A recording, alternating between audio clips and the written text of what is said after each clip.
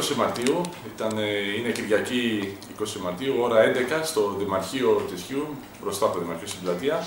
Θα διοργανωθεί για δεύτερη χρονιά ο αγώνας ε, που τιμάει τις γυναίκες λόγω της Παγκόσμιας ημέρας γυναίκας. Ε, πέρυσι είχαμε πάει πάρα πολύ καλά, το ίδιο ελπίζουμε και φέτος, δηλαδή θα ξεπεράσουμε τις 300 συμμετοχές. Είναι ένας αγώνας ε, μη ανταγωνιστικός, δεν θα υπάρχουν νικήτριες, δηλαδή πρώτη, δεύτερη, τρίτη. Ε, νικήτριες θα είναι όλες, διότι όσες τερματίσουν τα 5 χιλιόμετρα, οι οποίες θα έχουν την επιλογή είτε να το περπατήσουν είτε να το τρέξουν, για μας είναι νικήτριες. Θέλουμε να τιμήσουμε με αυτόν τον τρόπο ο σύλλογος μας ε, την Παγκόσμια Μέρα Γυναίκας. Ε, θα δοθεί μπλουζάκι επίσης μαζί με ένα βραχιολάκι αναμνηστικό, το οποίο είναι έτσι καλής ποιότητας θα έλεγα.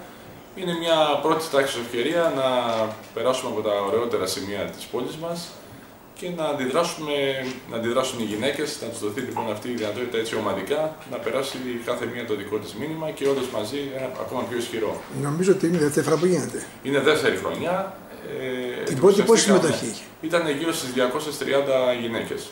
Φέτος πώ Φέτος πάμε πιο καλά, διότι έχουμε υποστήριξη και από το Δήμο, θα έλεγα, και πια την περιφέρεια, αλλά κυρίως από το Δήμο στο συγκεκριμένο αγώνα, διότι έχει διαφημιστεί και στην Τουρκία.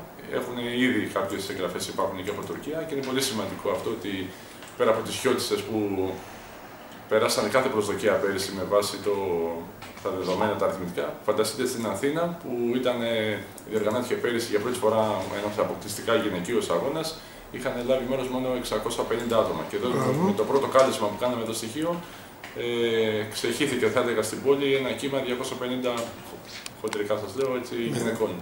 Και φέτος πιστεύουμε από τα πρώτα μηνύματα που έχουμε, ήδη από την πρώτη μέρα έχουμε 60-70 εγγραφές, θα πάει καλά, θα, το, θα διαφημιστεί. Ευχαριστούμε επίσης και το κανάλι σας για αυτή τη, για την πάντα την υποστήριξη που έχουμε από εσάς.